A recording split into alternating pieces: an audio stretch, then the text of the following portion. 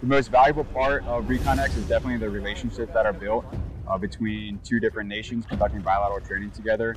So my counterpart and you know the, all the commanders and the relationships that the Marines built with each other. That's the most important part. So Reconex was about a two-week exercise with the Indonesian Kormar. That's the Korps Marinir. And we worked specifically with their Taifib, which is their Amphib Recon Marines.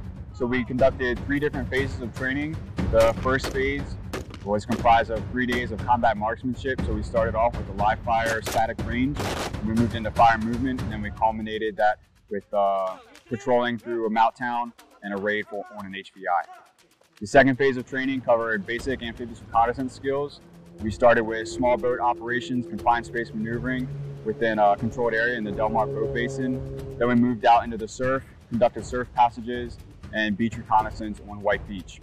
The third phase of training covered an amphib insert into a full mission profile ground RNS patrol. Uh, saya Letnan Kolonel Marinir Muhammad Abdillah Saya Komandan Batalion Taifib 1 Marinir di Jakarta.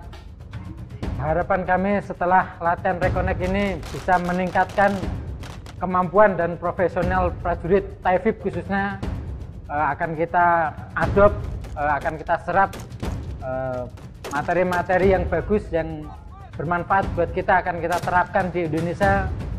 Uh, harapannya kita bisa menyerap baik taktik, taktik, teknik maupun teknologi-teknologi yang diterapkan oleh uh, prajurit-prajurit Recon USMC. So what I've learned from ReconX is that we have you know, very strong and stable partners within the Indo-PACOM region. It's great to understand what their capabilities and limitations are so that we can better integrate in the future. For things that I feel like we've taught them, I think we've shown them a, a plethora of different skills that they can take back to make their own recon marines better, stronger, harder, faster.